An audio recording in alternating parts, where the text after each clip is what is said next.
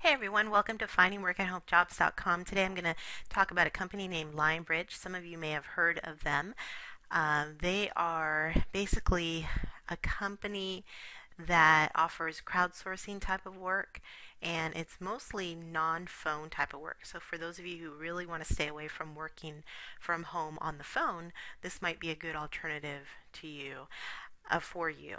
Um, so the kind of jobs that they offer, they have lots of different names: search engine evaluators, web content assessors, internet assessors, social media evaluators. So they have lots of different types of jobs. Um, let me go down to Lionbridge. Um, I wanted to talk a little bit about pay. Uh, so I went. I wanted to go and show you on Glassdoor.com.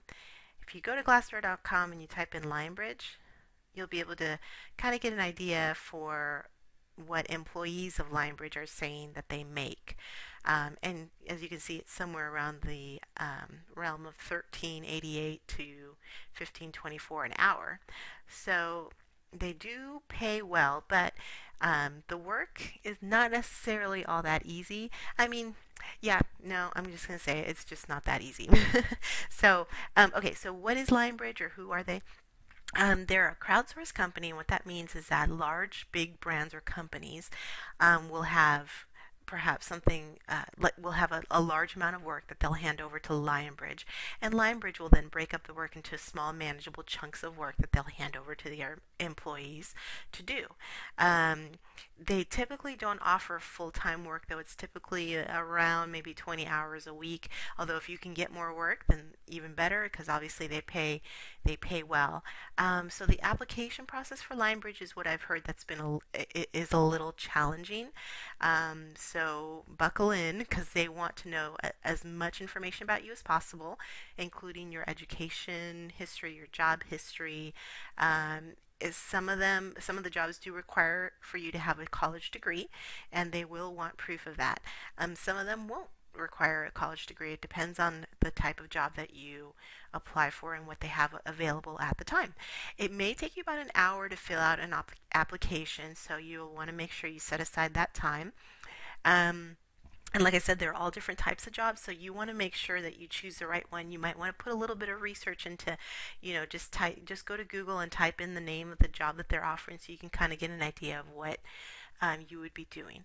Um, so here's the thing with me: I have applied like two times, and as soon as I put my name in, they reject me immediately. So I don't know if I applied once and I did really bad on their application because ever since then, they just automatically send me an email saying um, that uh, I can't remember what they say, but something to the effect of um, we we can't accept your application at this time for some or you've applied in the past or something like that.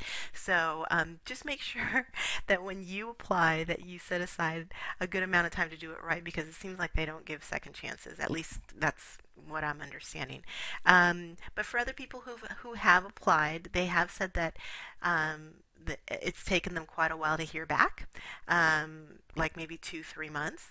So um, just know that that it's not something that you're going to be able to go out and get tomorrow. Um, so, what kinds of jobs will you be doing? There's lots of jobs you could be doing. Uh, surveys. Um, you could just be um, working in social media. Um, you could be um, um, basically doing web search evaluating. so there's lots of different jobs that you can be doing. Let me think what else I can tell you about it. Um, da, da, da, um, if you're going to look into their main job that they offer, which is that of a web content assessor, um, you're going to be basically assessing which web pages are the most helpful to people when they type in keywords on Google. Um, so, for example, someone types in um, closest Mexican restaurant. Um, uh, Google will give you a huge amount of, of, results, right? Well, you as a web content assessor will basically um, rate or or help to decide which result will be near the top of the list. I hope that makes sense. so that's what you're going to be doing, and um, Now, the exam for the jobs such as web content assessors are really difficult. Um, I've heard that the one for web content assessing is about five hours long. So, mm, I don't know. You might want to think about it, but obviously, if it pays, you know, almost $15 an hour, might be worth it to you.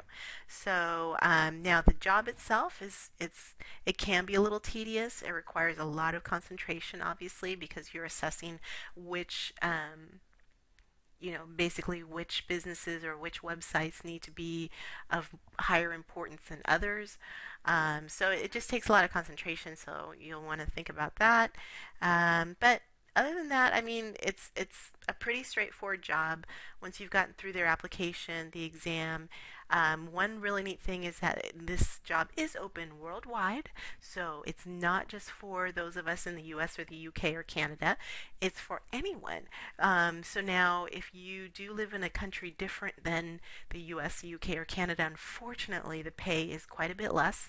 It's about five or six dollars an hour versus you know 13 to 15 and you know i don't know why that is maybe cost of living or whatever it is but that's um, what the website has said, unfortunately. So keep that in mind. Anyways, uh, is Lionbridge, and I'm going to put a link to their application page. Um, this is the first page of their application, and you continue on. If I remember right, it takes about an hour, so there's a good amount of pages here, and you're going to want to, again, just set aside a good amount of time. This particular job that they're offering right now is for an internet assessor who speaks Spanish. English and Spanish. So um, these kinds of jobs, I see them come up all the time. Just keep your eye on their available jobs, and um, I'm sure that you'll find something that will um, kind of fit with what you're looking for. Good luck, everyone.